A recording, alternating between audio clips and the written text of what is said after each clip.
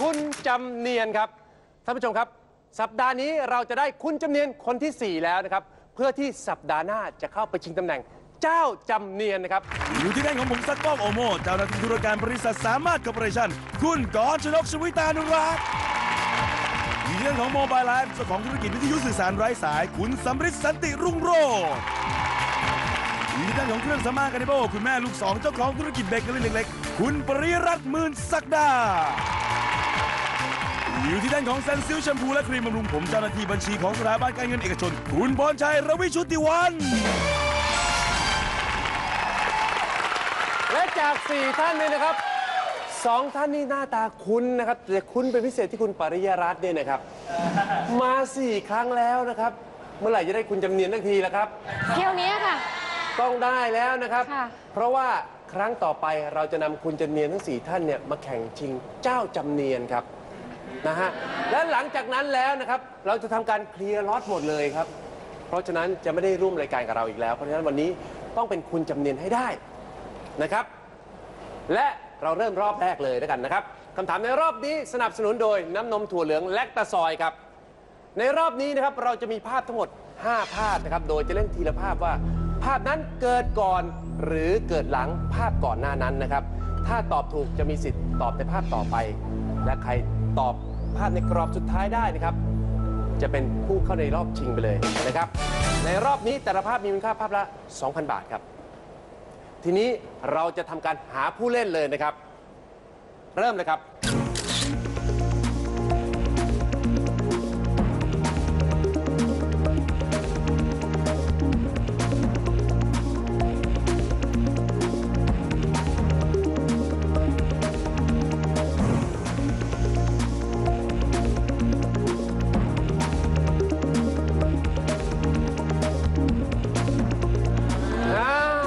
อะไรครับการคืนเกาะฮ่องกงคืนเกาะฮ่องกงส่งคืนเกาะฮ่องกงครับให้กับใครครับครับให้กับจีนจีนจีนงั้นให้ปิดกับคืนจีนให้กับจีนอืมครับและจริง ๆ แล้วภาพนี้ก็คือส่งมอบเกาะฮ่องกงครับ อังกฤษทำพิธีส่งมอบเกาะฮ่องกงคืนให้กับจีนครับอย่างที่บอกนะครับ เพราะว่าหมดสัญญาเช่าแล้วนะครับ เช่ามานาน 156 ปีครับนะครับ และคำถามหาผู้เล่นก็คือ ส่งมอบเกาะฮ่องกงนี้นะครับ เกิดขึ้น ในปีพศใดครับ คุณสำริดครับ สองน่าจะ 2540 ถูกครับ โอ้โหทำไมตอบได้พอดี 40 เลยฮะ ได้ทันทีเลยล่ะครับ เพราะว่าที่จำได้เพราะว่าเป็นปีที่ลูกสาวคนที่สองผมเกิด อืม แต่เดือนนั้นผมไม่แน่ใจนะ อืม ครับ แต่เป็นปีเดียวกัน และแล้วนะครับ ภาพเหตุการณ์นี้ก็เกิดขึ้นเมื่อวันที่ 30 มิถุนายนนะครับ 2540 และตอนนี้คุณสำริดก็เป็นผู้เล่นแล้วนะครับ เราไปภาพที่หนึ่งเลยครับ เกิดก่อนหรือเกิดหลังส่งมอบเกาะฮ่องกงครับ เทสโก้โ o ตัสครับ เอ่อ มีหน่วยข้าหน่วยตำรวจพิเศษครับกู้กู้ลูกระเบิด ครับ อันนี่คือการวางระเบิดก่อกวนอืม ห้างโ o ตัส เออแต่ผมไม่แน่ใจว่าตรงนี้มันสาขาอะไรเพมีชื่โลนะตัสตรงนู้นใช่ไหมครับใช่ใช่อืมอืมอืมโอ้ที่ว่าแล้วพอจะทราบไหมว่าเกิดก่อนหรือเกิดหลังสมมติเกาะฮ่องกงเอ่อทราบครับ ทราบใช่ไหมอะเชิญกลับนะครับ เมื่อเทียบกับภาพส่งมอบเกาะฮ่องกงนะครับ ภาพนี้เกิดก่อนหรือเกิดหลังครับ เกิดหลังครับ และจริง ๆ นะครับ อย่างที่คุณสำริดบอกนะครับ ภาพนี้ก็คือภาพระเบิดโลตัสครับ เป็นการระเบิดโลตัสที่อุบลราชธานีครับ ซึ่งตำรวจสันนิษฐานว่าอาจจะเกิดจากการข่มขู่กัน หรือว่าการขัดแย้งของบริษัทรปภนะครับ และคำตอบก็คือ เกิดหลังครับ เมื่อวันที่ 14 พฤศจิกายนนะครับ 2544 ครับ เราไปต่อที่ภาพที่ 2 เลยครับ เกิดก่อนหรือเกิดหลังระเบิดโลตัสครับ ไม่แน่ใจว่าผมใช้เลือดทหารหรือเปล่าที่เป็นแท็กแท็กแท็กซี่ที่ว่าสร้างเหตุขึ้นมา อืมสร้างเหตุการณ์ขึ้นมานะครับคิดว่าน่าจะใช่นะแล้วครับ อืม แล้วตอนนี้พอจะรู้ไหมว่าเกิดก่อนหรือเกิดหลังระเบิดโลตัส ทราบครับ ทราบแล้วฮะมามามามามาโอ้โห รู้สึกคุณสำริดนี่ เครื่องนี่ลื่นไปเลยนะฮะ แล้วเมื่อเทียบกับภาพระเบิดโลตัสนะครับ ภาพนี้เกิดก่อนหรือเกิดหลังครับ เกิดก่อน เกิดก่อนนะครับ และจริง ๆ ภาพนี้ก็คือ ไม่ใช่คุณสมชายนะครับ คุณสมพงษ์เลือดเออครับ อันนี้เข้ามามอบตัวฮะหลังจากที่โทรไปรายการร่วมด้วยช่วยกันไงไปบอกเขาว่าเก็บเงินได้ 19 ล้านจากฝรั่งใช่ไหมคืนไปอย่างงู้นอย่างนี้ จนรายการโทรทัศน์ทั้งหลายโอ้โหเรียกออกไปรายการไปมอบโล่มอบเงินรางวัลให้ และแล้วในที่สุดมารับสารภาพครับว่า เงินก็ไม่มีฝรั่งก็ไม่มีพยานก็ปั้นขึ้นมานะครับเลยในที่สุดตำรวจจับได้ก็มามอบตัวครับ และคำตอบก็คือ เกิดก่อนครับ โอ้โห คุณสำริดของเรานะครับ คุณสมพงษ์มอบตัวนะครับ เกิดขึ้นเมื่อวันที่ 1 กันยายนนะครับ 2540 ครับ เราไปภาพที่ 3 นะครับ เกิดก่อนหรือเกิดหลังสมพงษ์มอบตัวครับ แม่ยกโล่งอก ชัยยามิตรชัยแผ่ล่มรอดตายครับ เป็นแฟนชัยยามิตรชัยหรือเปล่า ก็ดูบ้างฮะแต่ว่าก็ไม่มาก ดูบ้างไม่มากนะครับ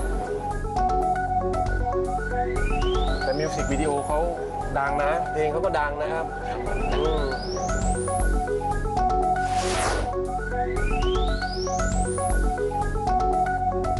อ่าก็พอจะได้ จะเล่นต่อหรือจะหยุดครับ เล่นต่อฮะ เล่นต่อ อ้าว ทีนี้แหละ เล่นต่อนี่ คุณสำริดเริ่มมั่นใจแล้วนะครับ เมื่อเทียบกับสมพงษ์มอบตัวนะครับพาดหัวข่าวนี้นะครับ เกิดก่อนหรือเกิดหลังครับ เกิดหลังครับ และจริง ๆ แล้วภาพนี้นะครับก็เป็นพาดหัวข่าวชัยยาพิชัยตกแพครับ จากหนังสือพิมพ์เดลินิวเพลงนั้นที่ดัง ๆ ใช่ไหมนี่เขาไปถ่ายมิวสิกวิดีโออยู่ เพลงอะไรไหมไม่ธรรมดาธรรมดา จำเพลงไม่ได้ ไม่ธรรมดานี่อะไปถ่ายอยู่บนแพแพก็เลยไม่ธรรมดาไม่ธรรมดาแทนอยู่นี่ก็พลิกคว่ำไปแพล่มไปนะครับทำให้คุณชัยยาและเพื่อนๆอีก 6 คนก็ได้รับบาดเจ็บกันนะครับ และคำตอบก็คือ เกิดหลังครับ โอ้โห คุณสำริดครับ คุณสำริดนี่ ขนาดยังคิดใช้เวลาคิดอยู่นิดๆเนี่ยก็ยังตอบได้นะครับ ไม่ไม่ภาคนี้ไม่มั่นใจนะไม่มั่นใจนะครับ แต่แต่คิดมันว่าไม่เพลงเขาไม่น่านานเกินไป เออซึ่งพาดหัวข่าวนี้จากหนังสือพิมพ์เดลินิวเนี่ยนะครับ เกิดขึ้นในปี 2540 ครับ ซึ่งเป็นปีเดียวกันกับคุณสมพงษ์ลือฐานมอบตัวเลยครับ และวันที่ก็ใกล้กันนะครับ 24 ตุลาคมครับ คุณสมพงษ์เลือดทหารมอบตัววันที่ 1 กันยายนครับ ใกล้กันนิดเดียวยอดมากคุณสำริด ผ่านไปแล้ว 3 ภาพนะครับ ผมว่าเราพักกันสักครู่ดีกว่านะครับ เดี๋ยวมาดูครับว่าคุณสำริดยังแรงต่อไปหรือเปล่าครับ เดี๋ยวพบกันครับ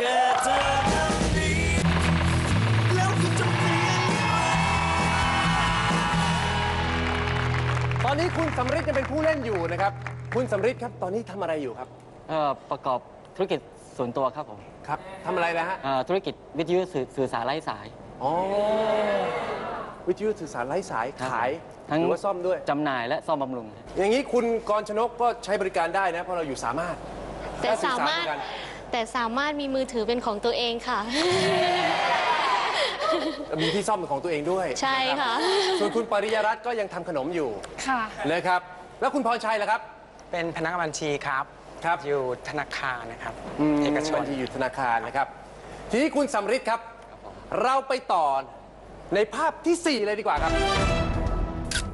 เกิดก่อนหรือเกิดหลังพาดหัวข่าวชัยยาตกแพครับ เป็นไงครับ นี่คือถนนอักษะถนนอักษะครับ ตัดระหว่างพุทธมณฑลสายสามกับสายสี่อืมอันนี้เป็นการเปิด ผมว่าเป็นการเปิดมีนะ ขี่จักรยานด้วยมีขี่จักรยาน วิ่งด้วยนะฮะอ่าด้านหลังนี่คือพุทธมณฑลตรงพระครับมีพระอยู่นะครับ ครับผม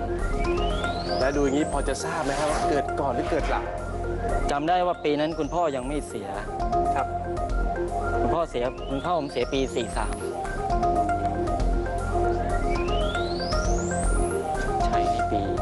ปี 40 ครับ 24 ตุลาคมตอบได้ครับ 40เอาได้นะฮะอ้าวดูสิคุณสำริดเครื่องยังแรงต่อหรือเปล่านะครับ และเมื่อเทียบกับพาดหัวข่าวชัยยาตกแพนะครับ ภาพนี้เกิดก่อนหรือเกิดหลังครับ เกิดหลังครับ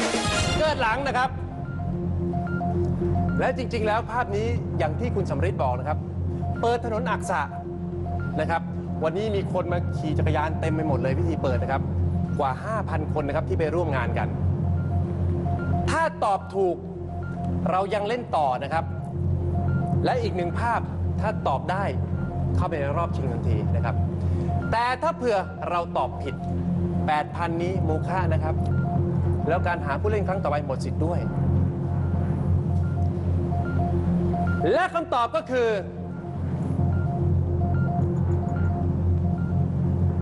เกิดหลังครับ โอ้โห คุณสำริดและภาพเหตุการณ์นี้ก็เกิดขึ้นเมื่อวันที่ 27 กุมภาพันธ์ 2542 ครับ จากภาพทีสี่ 4 เป็นภาพเปิดถนนอักษะนะครับ เราไปภาพที่ 5 ครับ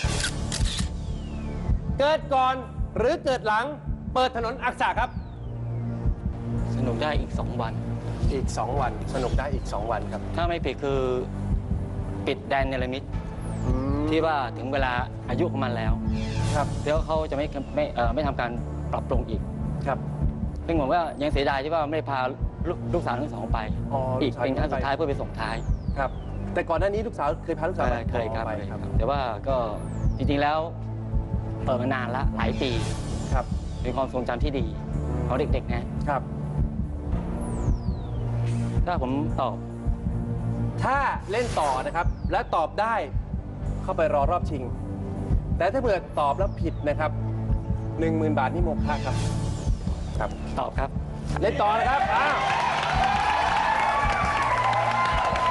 ดูสิว่า คุณสำริดนะครับ เล่นต่อนี่จะเข้าไปรอรอบชิงเลยหรือเปล่านะครับ เมื่อเทียบกับเปิดถนนอักษะภาพนี้เกิดก่อนหรือเกิดหลังครับ เกิดหลังครับ ถ้าตอบถูกนะครับ 10,000 บาทของคุณสำริดและเข้าไปรอรอบชิงนะครับ แต่ถ้าเผื่อตอบผิด 10,000 บาทนี้โมฆะและหมดสิทธิ์ในการหาผู้เล่นในครั้งต่อไปนะครับ จริง ๆ แล้วนะครับ ภาพนี้ก็คือ ปิดสวนสนุกแดนเนรมิตครับนะครับน่าเสียดายนะครับ เป็นสวนสนุกที่อยู่คู่กับกรุงเทพมากว่า 25 ปีนะฮะอย่างที่คุณสำริดบอกนะครับหมดสัญญาเช่าครับ ก็เลยไม่ได้ปรับปรุงอะไรนะครับ และคำตอบก็คือ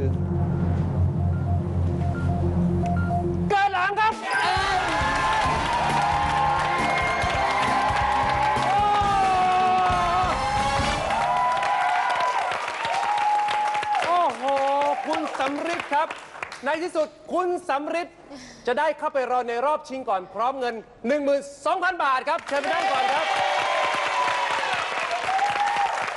และทีนี้ครับคำถามหาผู้เล่นก็คือ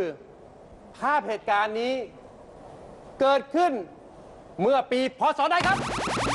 คุณกรณ์ชนกครับ2543ถูกครับ เกิดขึ้นนะครับเมื่อวันที่ 27 พฤษภาคม 2543 นะครับดังนั้นเขียนว่าอีก 2 วันจะปิดเนี่ยครับเขาปิดวันที่ 28 พฤษภาคมนะครับ28พฤษภาคมและทีนี้คุณกรณ์ชนกเป็นผู้เล่นแล้วนะครับ อีกภาพเดียวเท่านั้น ถ้าตอบถูกนะครับ จะเข้าไปชิงกับคุณสำริดทันทีนะครับ เราไปภาพต่อไปเลยครับ เกิดก่อนหรือเกิดหลังปิดแดนเนรมิตครับ อ๋อ ซึ่งภาพนี้จะไม่มีมูลค่าแล้วนะครับ ดาวตก ดาวตก ดาวตก ดาวตกครับ เอ่อจำได้ว่ามันตกเดือนเดียวกับที่เกิด อ้าวตกเดือนเดียวเดี๋ยวก่อนนะเกิดปีแล้วครับ แล้วไปดูหรือเปล่าตอนนั้นน่ะ ตกเดือนเดียวที่เกิดนะไม่ได้ดูอะไม่ได้ดูดูข่าวก็ยังดีนะ อ่าฮะไอายไม่แน่ใจว่า 42 หรือ 44อืม เอาละสิต้องคิดดีๆนะครับ ภาพเดียวเท่านั้นเราจะเข้าไปเจอคุณสำริดทันทีนะครับอะไรครับจะเล่นต่อหรือจะหยุดครับเล่นต่อค่ะ เล่นต่อนะครับ เมื่อเทียบกับปิดแดนเนรมิตภาพนี้เกิดก่อนหรือเกิดหลังครับ เกิดหลังค่ะ สีสีถ้าคุณกรชนกตอบถูกนะครับ จะเข้าไปเจอคุณสำริดในรอบชิงทันทีนะครับ และจริงๆแล้วภาพนี้นะครับก็คือพาดหัวข่าวฝนดาวตกจากหนังสือพิมพ์เดลินิวนะครับ ก่อนหน้านี้เคยเกิดครั้งหนึ่งแล้วนะครับฝนดาวตก และครั้งนี้ที่ตกชื่อว่าลีโอนิกนะครับ จะมีครั้งต่อไปนะครับอีก 33 ปีข้างหน้าต้องคอยกัน คุณกรชนกครับ อย่าลืมนะถ้าตอบถูกเข้ารอบชิงทันทีนะครับ และคำตอบก็คือสี่สิบสี่เดินหลังครับ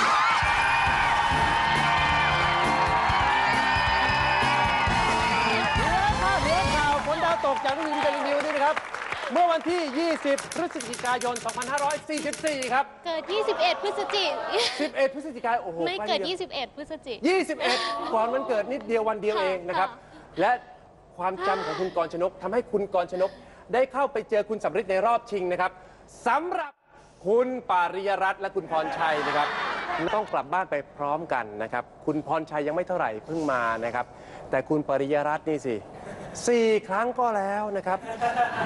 ยังหาคุณจำเนียนไม่เจอเลย แสดงว่ายังจำได้ไม่เนียนเท่าไหร่นะครับ แต่วันหลังนะครับ ถ้าไปเจอกันข้างนอกอย่าลืมนะครับจำให้ได้เนียนๆด้วยนะครับ ค่ะแล้วเจอกันวันหลังนะครับ ค่ะ ต้องขอขอบคุณคุณปริยรัตน์และคุณพรชัยครับ สวัสดีครับ และเดี๋ยวเราจะไปดูครับ ระหว่างคุณกรชนกและคุณสำริดใครจะได้เป็นคุณจำเนียนคนที่สี่เดี๋ยวพบกันครับแหมถือว่าคุณกรชนกเนี่ยตอบได้เนียนมากเลยนะครับ เพราะว่าพาดหัวข่าวฝนดาวตกเนี่ยเกิดห่างจากวันเกิดของคุณกรชนกเพียงหนึ่งวันเท่านั้นครับ และนี่ก็เป็นครั้งที่สองนะครับ ที่เกิดขึ้นในประเทศไทย ส่วนครั้งแรกจะเป็นเมื่อไหร่เรายังไม่บอกครับเพื่อจะเก็บไว้ทายกันคราวหน้าครับ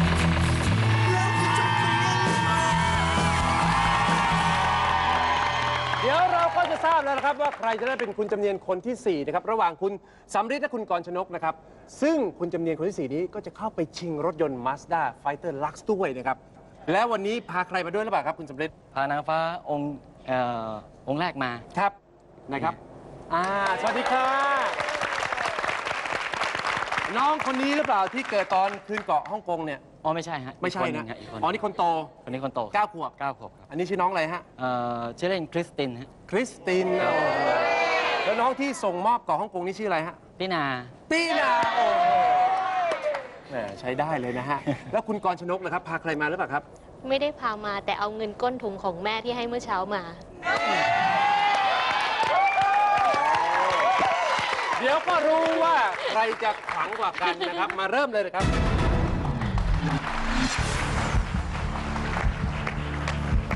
และคุณสำริดนะครับก็อยู่ที่ท่านของผงซักฟอกโอโมครับ ส่วนคุณกรชนกอยู่ที่ท่านของโมบายไลฟ์ครับ ไปดูภาพทั้ง 3 ภาพก่อนนะครับ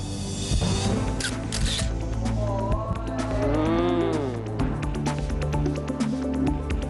คุณสำริดมีสิทธิ์ได้เลือกนะครับ ว่าจะเป็นผู้ตั้งเวลาหรือหาคำตอบครับ เอ่อจะหาคำตอบฮะหาคำตอบ เพราะฉะนั้นคุณกรชนกจะได้เป็นผู้ตั้งเวลาก่อนนะครับ คุณกรชนกเลือกภาพเลยครับ ขอเป็นภาพที่สองแล้วกันค่ะ ภาพที่2ครับ เป็นภาพอะไรครับ น่าจะเป็นครบรอบ ของคุณคึกฤทธิ์ปราโมทครับ ครบรอบนี่อะไรอายุครบสักเท่าไหร่ฮะ น่าจะ 80 มั้งคะ ครับถ้าจำไม่ผิดอืม น่าจะ 80 ครับ แล้วท่านคึกฤทธิ์เนี่ยเสียเมื่อประมาณปี 440 ครับ ตอนอายุ 90 น่าจะ 91 หรือ 92 ถอยหลังไปประมาณ 10 ปี ครับ ตอนนี้อ่าดูจากรูป น่าจะครบรอบวันเกิด ไม่ไม่ไม่ใช่ต้อนรับรัฐรัฐมนตรีใหม่แน่นอนน่าจะเป็นครบรอบวันเกิด ตอนส่วนใหญ่เขาจะมีจัดตอน 60 แต่นี่ไม่ใช่ 60 น่าจะเป็น 10 60 72 84 อะไรเงี้ยป่ะใช่แล้วคิดว่าเดี๋ยวนะคะภาพเหตุการณ์นี้เกิดขึ้นเมื่อไหร่ครับ น่าจะก่อนท่านเสียไม่นาน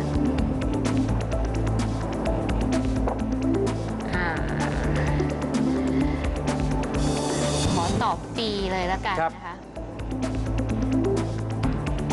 สองห้าสามสาม2533 ครับ ค่ะ เดือนแล้วครับ เดือนก่อนรัฐประหาร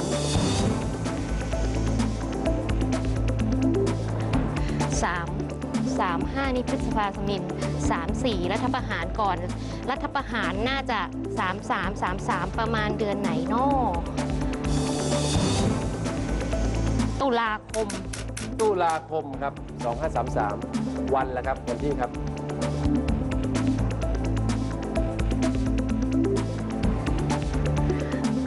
วันที่สองตุลาคม 2 ตุลาคม 2533 ยังไม่ตรงครับ คุณสำริดครับ เห็นด้วยกับคุณกรชนกไหมครับ ว่าเป็นงานครบรอบวันเกิดท่านคึกฤทธิ์เนี่ยฮะอืม ที่ผมคิดนะครับ อาจจะคิดว่าตรงข้ามนะครับ อาจจะเป็นที่คุณเป็นเหท่านตุการณ์อะไรครับท่านชาติชายครับ รับตำแหน่งนายกอืมแล้วเข้าไปขอพรอืมครับ แล้วเมื่อเทียบกับ 2 ตุลาคม 2533 นะครับ ภาพนี้เกิดก่อนหรือเกิดหลังครับ ถ้าผมจะตอบ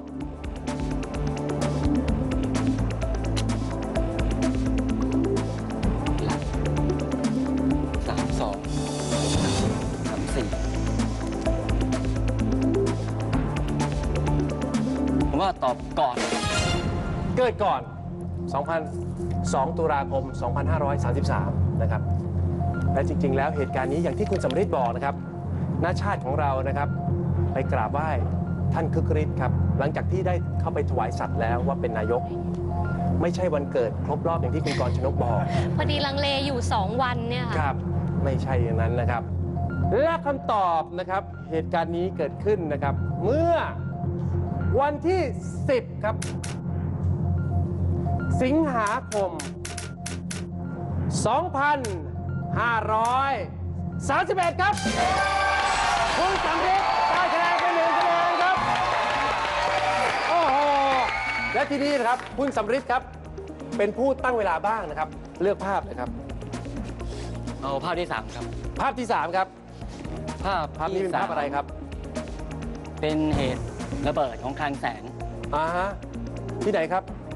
ถ้าไม่ผิดก็ที่จังหวัดนครราชสีมาอืมถ้าไม่ผิดนะฮะครับเกิดการสูญเสียไปมาก ครับซึ่งงานนี้ก็ทางกองทัพบกเองก็เสียใจมาก ครับ แต่ด้วยอุบัติเหตุเนื่องจากสภาพอากาศอืมอืมประมาณปีนะฮะครับ 2,544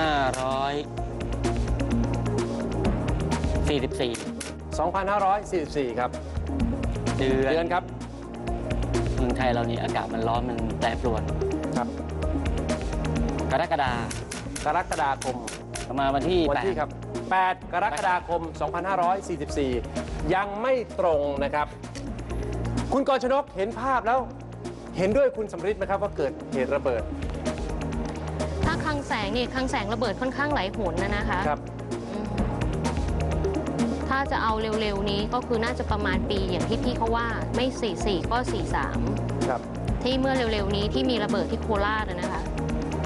และเมื่อเทียบกับ 8 กรกฎาคม 2544 นะครับ ภาพเหตุการณ์นี้ แปดกรกฎาคมเกิดก่อนหรือเกิดหลังครับ มันน่าจะเร็วๆเนี้ย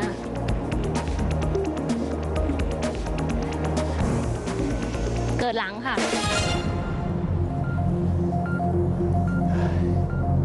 ถ้าตอบถูกนะครับ จะได้คะแนนเป็นหนึ่งเท่ากัน ถ้าตอบผิดคุณสำริดสองคะแนนเป็นคุณจำเนียนทันทีนะครับ จริงๆแล้วภาพเหตุการณ์นี้คือคลังแสงระเบิดนะครับ อย่างที่คุณสำริดพูดนะครับ เหตุการณ์เกิดที่ปากช่องนครราชสีมา ตอนนี้หน่วยกู้ภัยกำลังนำเรียงผู้บาดเจ็บออกมานะครับ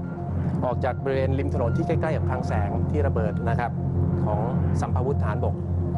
สาเหตุที่เกิดระเบิดก็เนื่องจากอาวุธที่เก็บเอาไว้นานๆครับเกิดร้อนแล้วก็ระเบิดขึ้นมา พอระเบิดทีนึงก็ติดกันหมดนะครับ และคำตอบครับ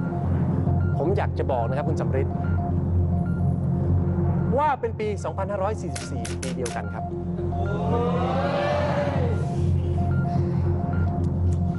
อยู่ที่ว่า จะหลัง 8 กรกฎาคม หรือว่าก่อน 8 กรกฎาคม ถ้าก่อน 8 กรกฎาคมคุณสำริดจะเป็นคุณจำเนียนคนที่ 4 ทันทีนะครับ แต่ถ้าเผื่อหลัง 8 กรกฎาคม คุณกชนก ตอนนี้คะแนนหนึ่งเท่ากันและดิคอน วันที่นะครับก็เป็นวันที่ 25ครับ ทีนี้เดือนละครับ ดูซิว่าจะมีคุณจำเนียนเกิดขึ้นเลยหรือเปล่านะครับ เดือนตุลาคมครับ แล้วคุณกรชนกได้คะแนนเป็นหนึ่งเท่ากันนะครับ คุณกรชนกครับ ภาพที่หนึ่งเลยครับจะต้องเป็นผู้ตั้งเวลาแล้วครับ เป็นภาพอะไรครับ ถ้าดูไปแล้วนี่มันน่าจะมาจากหนังเรื่องใดเรื่องหนึ่ง เพราะว่ามันไม่ใช่ข่าวแน่นอน ถ้าพี่ถ้าถ้าเป็นอย่างนี้เป็นข่าวเนี่ยหนูก็ไม่รู้ว่าหนูจะถ้าหนูเป็นนักอ่านข่าวหนูจะอ่านข่าวว่ายังไง เออ เออนะอ่านข่าวว่ามีชายคนหนึ่งนั่งนั่งอยู่และก็แล้วมีคนหนึ่งถ่ายรูปอยู่ข้างหลังอืมต่างคนต่างอยู่ค่ะมันน่าจะเป็นฉากใดฉากหนึ่งในในหนังเหรอหรืออะไรแล้วถ้าเกิดเป็นหหนังจะเป็นหนังเรื่องอะไรรับรองว่าไม่ใช่ซูเปอร์แมนหรือแบทแมนแน่นอนเออไม่ใช่ซูเปอร์แมนตอนก่อน แปลงกายไม่ใช่อย่างนั้นใช่ไหมไม่ฮะใช่ค่ะ เมื่อไหร่ดีครับ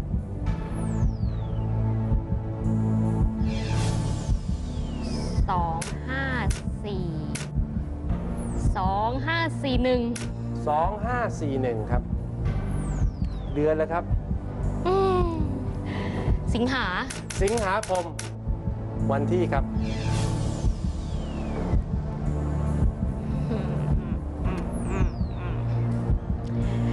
วันที่สเอา 16 สิงหาแล้วกันพี่ 16 สิงหาคม 2541 นะครับ ยังไม่ตรงนะครับเออแล้วคุณสำริดนะครับ ผมว่าเป็นหนังเนี่ยเป็นหนังไม่ใช่ข่าวครับ แต่ดารานี่ผมจำชื่อไม่ได้แล้วมันติดอยู่ที่ ติดอยู่เนี่ยอืมเป็นหนังครับเกี่ยวกับพระเอกคนนี้เป็นคนที่หัวไบ้มากไรมาก คือถ้าพูดคือคือกลุ่มไฮเปอร์อืม จำไม่ได้แน่ว่าปีอะไร แล้วคิดว่าเป็นเรื่องอะไรครับ ถ้าไม่ผิดนะครับ Forest Gump Forest Gump ถ้าไม่ผิดนะ แต่ปีนี้เลยตอนนี้กำลังคิดว่า เพราะหนังนี้เขาสร้างมาทำให้พระเอกคนนี้ได้รับรางวัลด้วย อืมถ้าเปิดเป็นภาพยนตร์นะครับ วันที่เกิดของภาพนี้เนี่ยเราจะนับวันที่ออกฉายครั้งแรกในประเทศไทยนะครับ เราจะนับวันนั้นนะครับ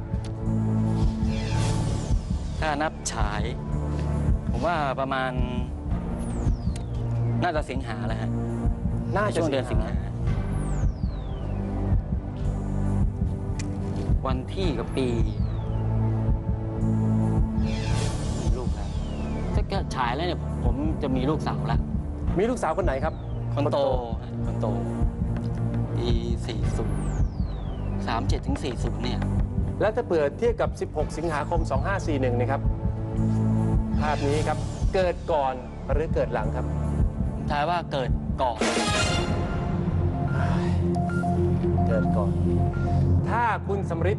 ตอบถูกนะครับ จะเป็นคุณจำเนียนคนที่ 4 ไปเลยนะครับ ถ้าตอบผิดคุณกรณ์ชนกก็จะเป็นคุณจำเนียนคนที่ 4 ครับ จริงๆแล้วภาพนี้นะครับ เหมือนที่คุณสำริดได้บอกไว้ ภาพนี้มาจากหนังภาพยนตร์ Forest Gump รับบทโดยใครครับ ทอมแฮงค์เออมันติดเนี่ยดูสิว่าใครจะเป็นคุณจำเนียนคนที่ 4 เพื่อเข้าไปชิงเจ้าจำเนียนนะครับ เพื่อชิงรถยนต์ Mazda Fighter Lux ด้วยนะครับคำตอบก็คือครับ วันที่ 17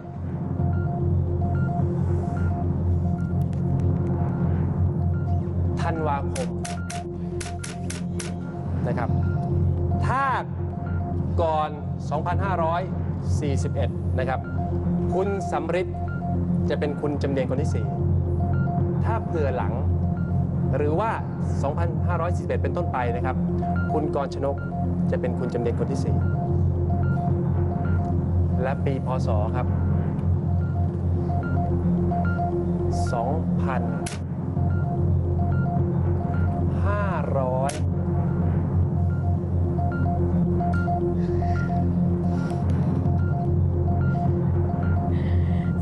37 ครับ คุณสำริดเป็นคุณจำเนียนคนที่สี่ครับ โอ้โหยินดีด้วย โอ้โหนี่ขนาดไม่ค่อยได้ดูหนัง เรื่องนี้แล้วยังจำได้นะว่าเป็น Forrest Gump ปีเดียวกับลูกสาวคนโตเลยสามโอ้โหเจ็ดแต่ผมจำทำไมจำเรื่องนี้ไม่ได้ไม่เข้าใจเออ สรุปแล้วนี่คุณมาเป็นคุณจำเนียนได้เนี่ย ด้วยการช่วยเหลือของลูกทั้งสองคน นางฟ้าในน้อย นะครับ คนหนึ่งมาตั้งแต่ในรอบแรกๆนะครับมอบส่งมอบคำถามแรกเลย ส่งมอบเกาะฮ่องกงคืนนะครับ คนที่สองนี่มาคำถามที่ได้คำตอบที่ได้เป็นคุณจำเนียนเลยนะครับ ก็ต้องขอแสดงความยินดีกับคุณสำริดด้วยนะครับสำหรับคุณกองชนก การต่อสู้ดูดูสูสีเกือบแล้ว เราเกือบจะได้เป็นแล้วนะครับ เพียงว่าตอนท้ายเราอาจจะเอ๊ะตรงนี้เป็นข่าว หรือว่าเป็นหนังหรือเป็นสารคดีสับสนนิดนึงนะครับ ไม่เป็นไรนะครับคุณกรณ์ชนกก็ต้องขอขอบคุณนะครับสำหรับคุณสำริดนะครับ เดี๋ยวเราจะไปดูครับว่าจะเนียนอีกหนึ่งแสนหรือเปล่านะครับ และหลังจากนั้นจะเข้าไปชิง เจ้าจำเนียนนะครับ เพื่อชิงรถยนต์ Mazda Fighter Lux ครับ เดี๋ยวพบกันครับ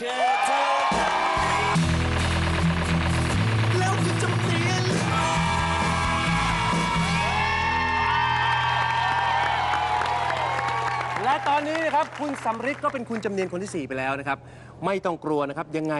ก็ได้เข้าไปชิงรถยนต์ Mazda Fighter Lux แน่นอน รักมากน่าอย่างที่ผมบอกนะครับ ผ่านมา คำถามแรกเลยก็ได้จากลูกคนที่สองถูกไหมลูกคนเล็กคนเล็กปกตินะครับใช่พอก่อนที่จะเป็นคุณจำเนียนก็นึกถึงลูกคนโตครับผมนะฮะ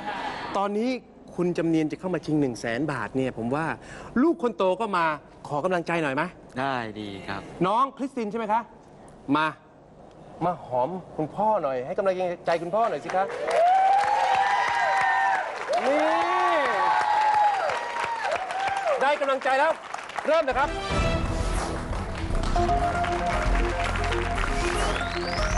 ในรอบนี้นะครับ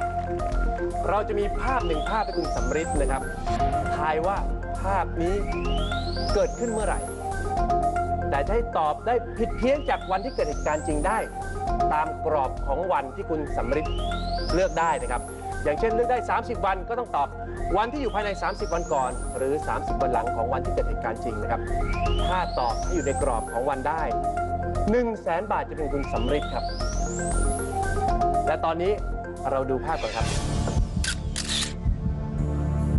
ภาพอะไรครับ ทับหลังนารายณ์ภาพหลังนารายณ์ขอคืนจากสหรัฐอเมริกา ครับอ้าวเห็นภาพแล้วทีนี้ผมว่า เราไปดูกรอบของวันดีกว่านะครับ ว่าคุณสำริดจะเลือกได้กรอบของวันเท่าไหร่นะครับ มีจอที่ 1 ถึงจอที่ 5 ครับ จะเลือกจอไหนดีครับ5ครับผม 5 นะครับ นางฟ้าให้มา จอที่ 5 ครับ 45 วันครับ ไปดูจอที่เหลือครับ มีกรอบวันอะไรบ้างครับ โอ้โห90 อยู่อีกฝั่งหนึ่งครับ ไม่เป็นไรนะครับ ตอนนี้เราได้กรอบของวันคือ 45 วันก่อน 45 วันหลังวันที่เกิดเหตุการณ์จริงครับ เหตุการณ์นี้น่าจะเกิดขึ้นเมื่อไหร่ฮะเหตุการณ์นี้เหรอครับ น่าจะเกิด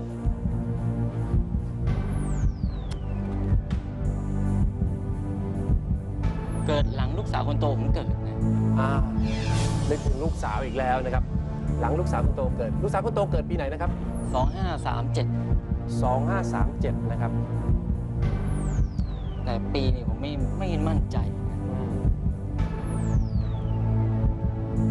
นึกปีไม่ออกปีนั้นมีเหตุการณ์อะไรเนี่ยครับ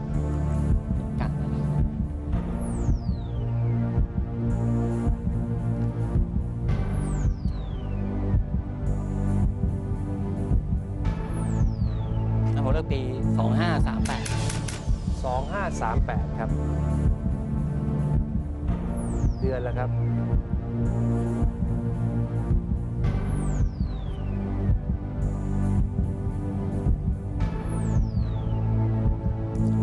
เดือนกันยา กันยายนครับ วันที่ 9 กันยา 9 กันยา 2538เดาซะเยอะ จริง ๆ แล้วเหตุการณ์นี้ก็อย่างที่คุณสมฤทธิ์บอกครับ ทับหลังนารายณ์บรรทมศิลป์นะครับ ถูกโจรกรรมไปที่สหรัฐอเมริกานะครับ คนไทยไปเจออยู่ที่สถาบันศิลปะในนครชิคาโกว่าทำเรื่องโอ้โหใช่ไหมทุกคนทำเรื่องร้องเรียนทำเรื่องประท้วงกัน จนตอนนั้นมีเพลงของคาราบาวพี่แอดใช่ไหมฮะเอาไมเคิลแจ็คสันคืนไปเอาคาราเอาทับหลังอ่าเอาทับหลังคืนมา ใช่ไหมครับ จนในที่สุดสหรัฐอเมริกาก็ยอมคืนมานะครับ และภาพนี้ก็เป็น ประกอบพิธีอัญเชิญนะครับขึ้นไปอยู่ประดิษฐานอยู่ที่เดิมนะครับ ที่ปราสาทหินเขาพนมรุ้งนะครับ และถ้าเกิดคุณสำริดตอบถูกนะครับ อยู่ในกรอบของ 45 วัน 1 0 0 0 0แสนบาทจะเป็นของคุณสำริดนะครับ และคำตอบก็คือ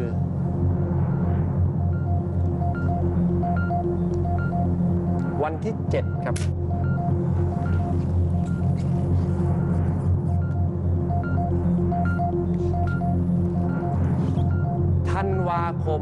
2531 ครั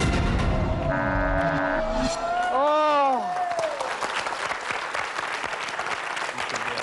เครื่องแรงๆมาที่โอ้โหวันนี้ห่างปีไปหลายปีเหมือนกันนะฮะ